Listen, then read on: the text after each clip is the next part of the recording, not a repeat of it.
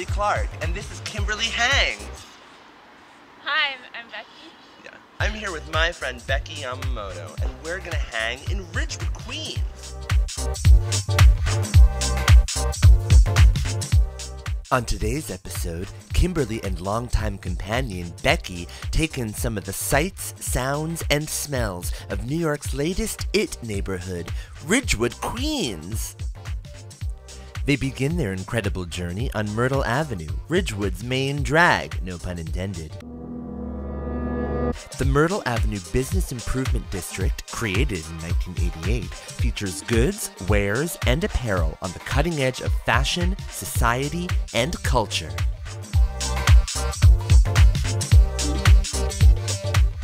The team's first stop on today's tour is Simon, Simon Shoes Shoes, Inc., Inc., um, where Kimberly attempts credit. to redeem a store credit obtained by returning an ill-fitting pair of quinceañera pumps.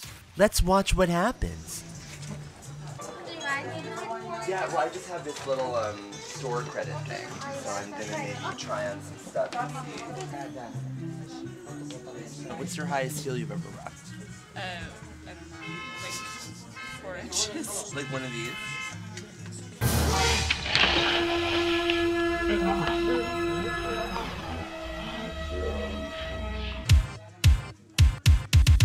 Kimberly picks her poison, and Becky finds her fancy as well. It's like, I mean, they're very king and I. Let the fitting commence. I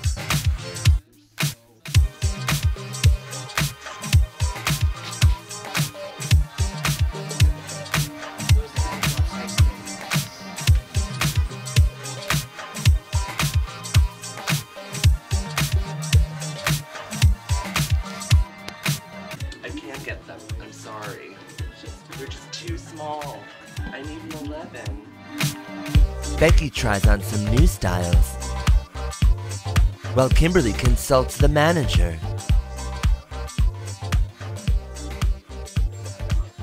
This one I have 11. A hope?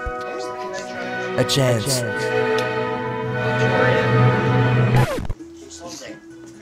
Oh, it's oh. Who? Who's the other drag queen that's buying shoes in this neighborhood? In a last-ditch effort, Kimberly turns to the activewear section to try to find the perfect jogging shoe.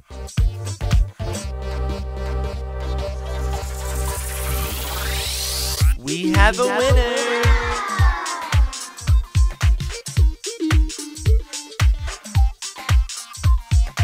Simon Shoes, Myrtle Avenue. Good business people, fabulous style. Check it out. In Manhattan. And in Manhattan and in the Bronx. And look, they have shoes for your children. I don't have a child, but Back on the street, Becky's got the scoop. An artisan flea market right here in Ridgewood.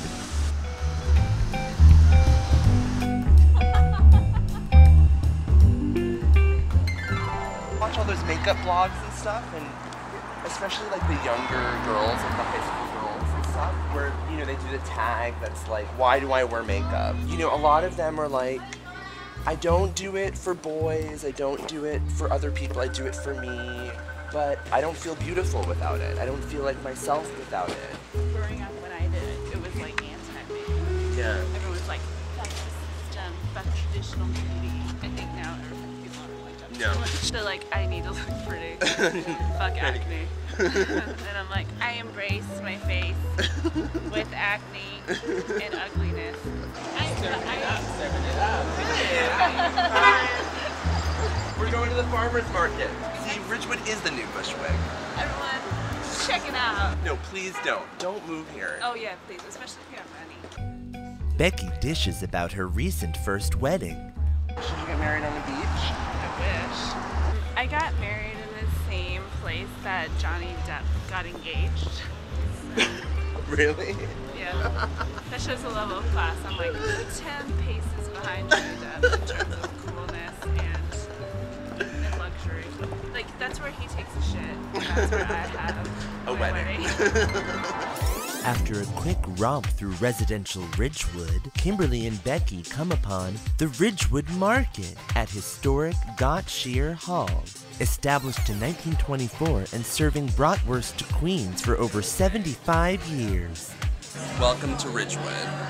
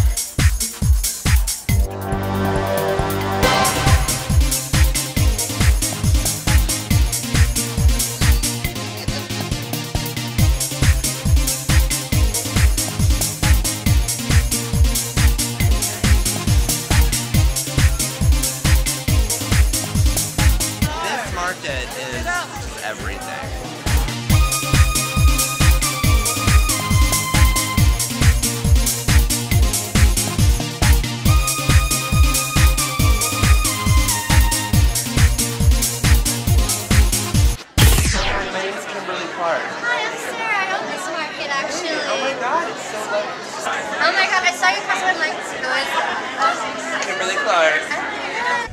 After schmoozing with Sarah, owner of the market and new Kimberly Clark superfan, Becky and Kimberly decide to do one final lap before landing at the bar.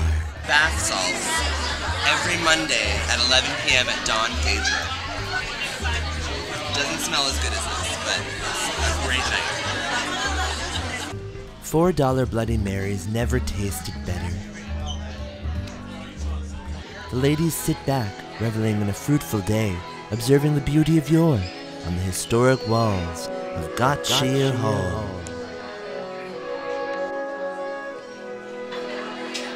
So what have we learned today? I'd made the most beautiful face. There's a place for us. You never know where you'll find a sister. A moment on the lips, a lifetime on the hips. And it's never too late to reapply. I'm Kimberly, And I'm Yamamoto. and this has been Kimberly Hangs in Ridgewood.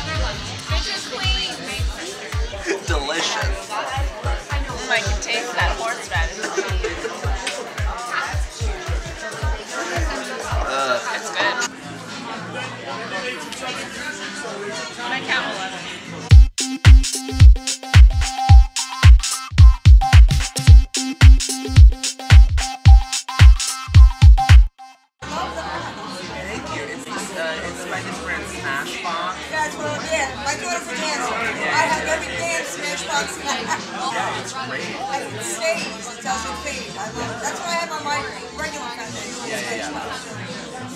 So you want some more? Yeah.